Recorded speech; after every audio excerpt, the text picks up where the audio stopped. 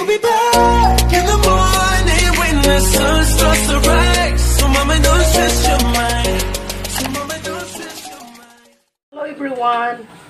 Ah, ang recipe ko po ngayon ay simpleng ulam na naman. Sutanghon lang lulutuin ko guys. Pinakuluan ko muna to. Ito yan, papa, ano na eh. Lalagyan ko na siya ng mantika. Magigisa na ako ng ricado. Magluluto lang ako ngayon ng sutanghon. Yan. Itatabi ko na yan. Maglalagay na ako ng mantika. Yan.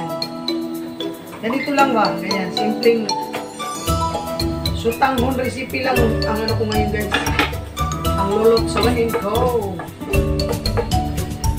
Yan. Tapos sibuyas.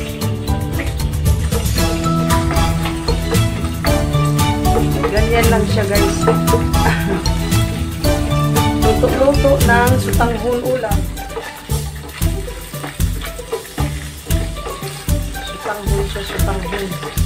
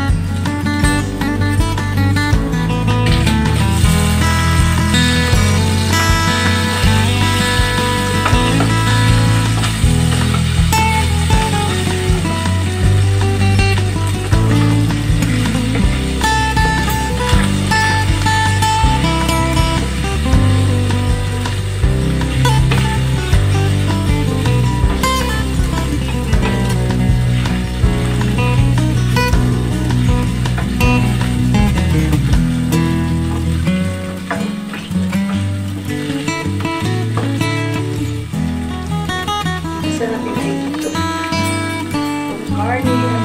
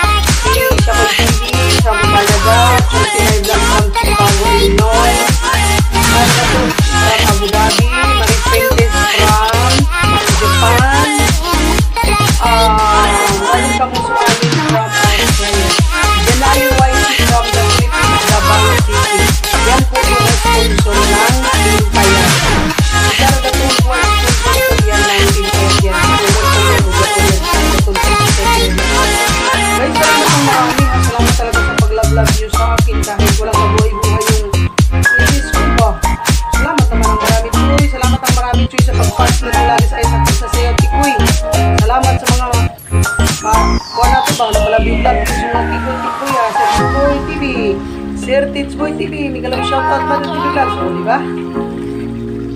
Magpasalamat din ako sa new super chatter ko for today si King Gray. At sa aking new member for today si ano, Saudi Pinoy Vlogger. Salamat na marami sa inyo ha. Salamat!